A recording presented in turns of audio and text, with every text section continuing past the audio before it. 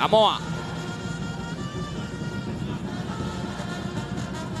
Imewekwa pasi alipokuwa Sospita Bajana. Amepita Gaudens Pascom. Sindo wekwa cross ndani huku. Nafasi Lianga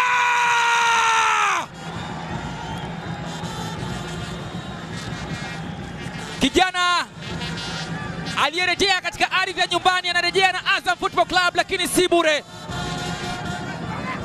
akiitoa mafichoni furaha ya Azam FC baada ya cross mujarab kutoka kwa Pasco Gaudens Msindo, kichwa mdundiko kutoka kwa winga mwenye kasi na uwezo wa kumiliki kabumbu. Ayub Ruben Lianga ndiyo ambaye anafunguo za polisi Tanzania, ndiyo ambaye anajua zilifungwa vipi kufuli za polisi Tanzania katika uwanja wa Shirika.